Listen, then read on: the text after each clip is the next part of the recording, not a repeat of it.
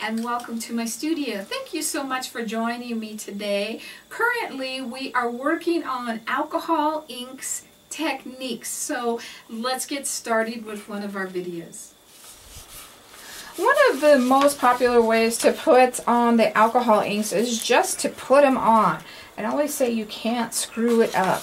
So kind of lay your gourd where it's kind of flat and just let it bleed out. You can have it go down and drip. If you don't want it to drip and it starts to run a little bit, just take one of your cotton pads, circle pads, and lift that up. Now shake your colors as you're applying them, but we're just going to apply them next to each other here and there. And you're going to start getting all your colors on these lines are where the color ends or stops or where it meets.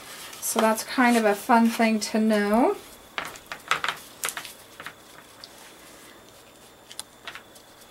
And just keep on putting them on.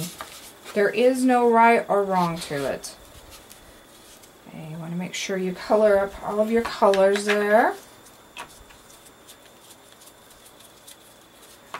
Some red in here. If a color also starts to bleed too much and you don't want it to go out that far, take your heat gun and your embossing tool and start to warm it.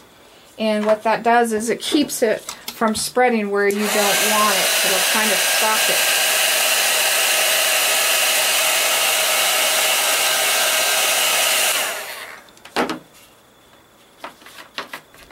You also can throw some of your mixatives in here as well and go over them with your colors. I'm going to use a copper here. The copper comes with the pearl. You have to shake these a little bit more. They are thicker. So we'll kind of lay him on there.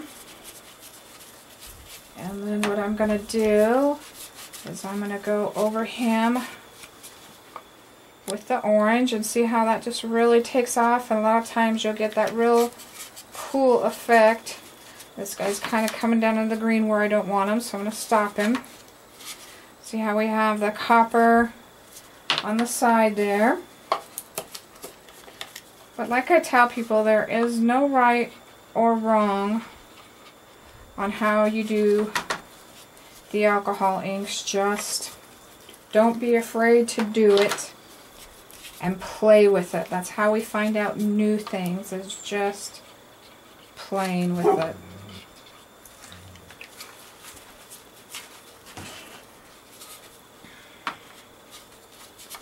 And just go ahead and do your whole board however you want, just like that.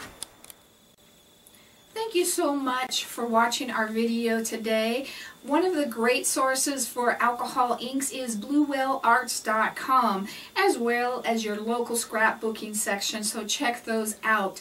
This is one of many of the alcohol inks techniques that we are currently doing, so make sure you check out all of our others. Give us a thumbs up and subscribe to our YouTube channel so you can be one of the first to be notified when they are out. God bless.